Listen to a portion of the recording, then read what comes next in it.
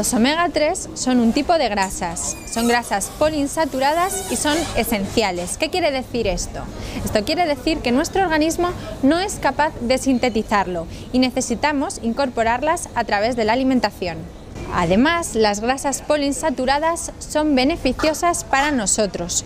Normalmente estamos acostumbrados a a escuchar que debemos consumir poca grasa.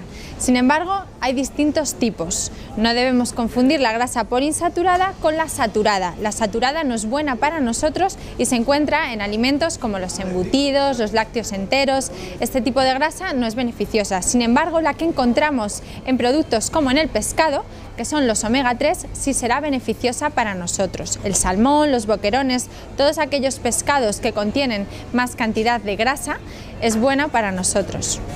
Por lo tanto, consumir pescados azules será saludable para nosotros. Pero existe una cosa que debemos saber. En la grasa de los animales se acumulan todos los tóxicos ambientales. Por desgracia, hoy en día el mar está muy contaminado y el pescado azul tiene muchos contaminantes, sobre todo metales pesados. Existen algunos pescados, como el emperador, por ejemplo, que contiene mucho omega 3, pero sin embargo contiene mucho mercurio. Por eso no debemos abusar de este tipo de pescados. Los pescados más grandes son los que más contaminantes tienen.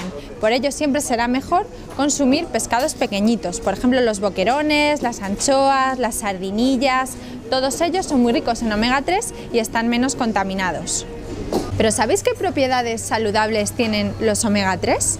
Por un lado son antiinflamatorios. Esto quiere decir que ayudan a regular la inflamación y a mejorar nuestro sistema inmunológico. Además, son cardioprotectores porque nos ayudan a reducir el colesterol, sobre todo el colesterol LDL, que es el llamado colesterol malo, y ayudan a aumentar el HDL, que es el colesterol llamado colesterol bueno. Además de esto, son buenos para nuestra memoria. Nuestro cerebro contiene mucha grasa y sobre todo mucho omega 3, por eso será bueno tomar omega 3 para nuestro cerebro. Por lo tanto, el pescado azul es una de las principales fuentes de omega 3 que tenemos en nuestra alimentación.